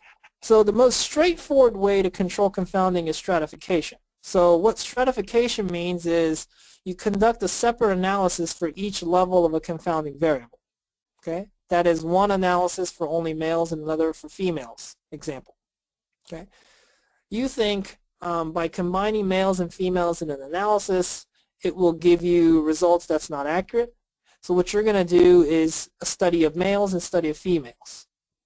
And conclude for males and females separately. The advantage is that um, it's clear what you're doing and um, you can clearly see the effect after the confounding is removed. Right? If you only have males in one group and you're just doing an analysis on males, then uh, gender is no longer a confounder because there are no females in the group and vice versa. Okay. The disadvantage is that you need a large enough sample size for each strata to have enough subjects. Right? So you need enough males and females, for example, to do an analysis both of males and females. Um, if you have a continuous confounder, you need to categorize that confounder because you can't separate them out into groups. Okay, um, and it's also difficult to control when there are multiple confounders, right? So if you think both uh, race, which has four categories, uh, white, black, Hispanic, and other, as well as um, gender, which has male and female, both are confounders, then you have to have a group for white males, white females, black males, black females, and so on, which may create the problem of you don't have enough subjects in each of the strata.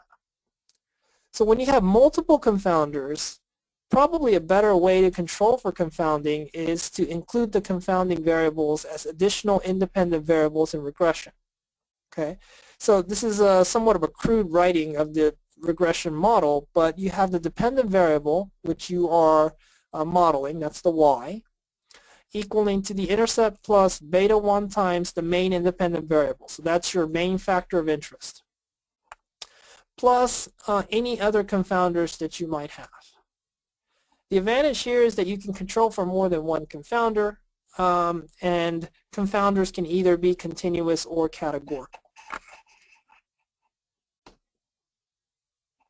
All right, effect modifiers.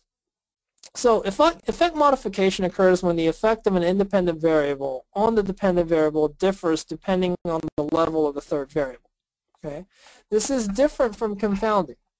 Okay, so look at the example that I have. So in the first graph, where men and women have um, parallel lines. Okay, although they start at different points, and so the height of the graphs are different. As x increases, y increases in the same manner for both men and women. So in a sense, no matter which level of gender you're in, man or woman, the effect of X on Y is the same. So there is no effect modification here. However, if you look at the second graph, you see that um, men actually grow at a higher rate than women, right? Women actually start at a higher point on the y-axis, but as you move further down on the axis, the men exceed the women in whatever we're measuring here. Right? So the rate of growth or the slope for men is actually higher than women. Okay, so though depending on which level of gender you're in, men or women, the effect of X on Y is different. This is a classic case of effect modification. And we would say that the effect modifier here is gender to model such relationships um, in a regression model, what we would use is something called an interaction model, where instead of just addition, we would include a multiplicative uh, term in the regression model. In this case, it would be x times gender.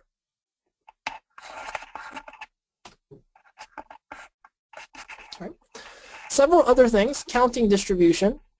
Um, we already talked about binomial distribution and Poisson distribution. Okay, binomial distribution models the number of events out of n observations. Poisson distribution models the number of events out of an infinite, in theory, observations. So they're both counting distributions. You're always counting the number of events that occurred.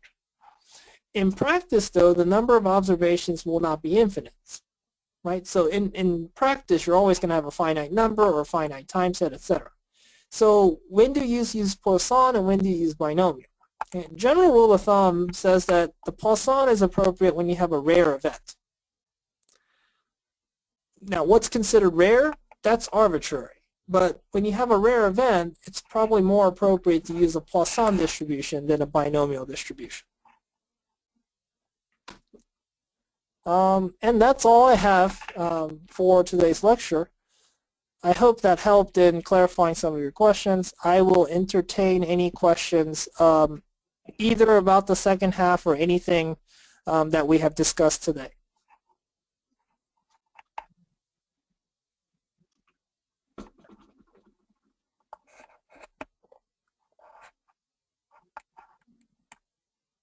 Um, if a 20 is, wait, I'm sorry. Um, if mean is 20 and standard deviation 4, then how to calculate probability for some specific observation? For example, P and then in parentheses, X is greater than 25.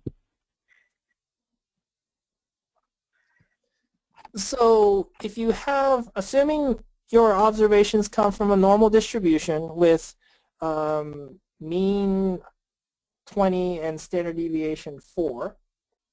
To calculate the probability, what you'll do is standardize the x. So you'll do x minus the mean divided by standard deviation. That will give you a z-score. The z-score has a normal distribution with mean 0 and standard deviation 1. Um, to calculate the other side. So you want to know whether x is greater than 25. Probability x is greater than 25. So you do 25 minus 20 divided by 4 um, and get a number there. You would find that number corresponding on a normal table or z-score table. And then you can find the probability by calculating the area to the right uh, of that distribution curve it's difficult to explain in words, but um, essentially you want to standardize it and then use your z-table to calculate the probability. Could you explain the p-value again? Sure. Uh, the p-value represents the probability of observing something or something more unusual given that the null hypothesis is true. So let me give you a very simple example. So if you think that um, the city where you live, the average BMI is 25. Okay, so the mean BMI for your city is 25. That's what you assume. So that's the null hypothesis. Okay, now you observe your observations and calculate a bunch of people's BMI from your city, and you end up that the actual BMI you observed in your city is x bar equals 20. So from your um, sample, you calculate that your sample or mean BMI is 20. Okay, p-value tells you, well, in a city where the average BMI is 25, how likely are you to see a mean of 20 given your sample. Okay. If that chances is fairly high, that means that 20 is within the realm of possibility even if the mean BMI in your city is 25. If the p-value is low, you can interpret it by saying, well, the mean BMI in my city is probably not 25, so my assumption, my null hypothesis is probably not correct and you can reject. The p-value indicates that probability of how likely your observation is under the null hypothesis. Can, you, uh, can survival analysis be used to calculate multiple points in time? For example, if a treatment program, uh, in a treatment program, a client is assessed and is and it is estimated they will re remain in treatment for 90 days. However, they will end up, however, they end up spending more than 90 days in the program. So I, th I think I get the question. So, uh, yes, if if your survival analysis is just looking for an event to occur, so however long you are observing them, where they don't experience the event. That is the entire survival time. Okay. Now, if your study is supposed to last only 90 days, but you observe them further, um, that's a change in protocol, so that may introduce other biases. However, from a purely analytical standpoint, um, as long as you have observation or you can observe a person throughout the time from the start to whenever you end, whether that's 90 or beyond, and you can observe whether they experienced an event or not, yes, you can analyze that. What you can't do, however, is if you are looking for two events. For example, if you are looking for someone to get a heart attack and a stroke, you can't look for both in the same analysis. The event has to be just one event.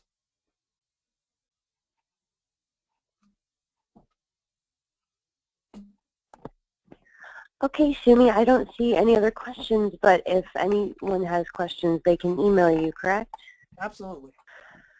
Okay, great. Um, well, thank you, Sumi, and I want to thank everyone for joining us today as the National Board of Public Health Examiners presented our last in our series of six webinars geared to explaining the domain areas of public health to help you prepare for the upcoming CPH exam.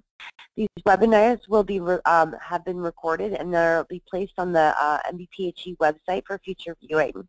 Um, thank you, Sumi, and uh, you should receive, if you registered for this uh, webinar, you'll receive an email with a link to um, the recording as well as Sumi's um, contact information. So thank you and have a great day and good luck on the exam.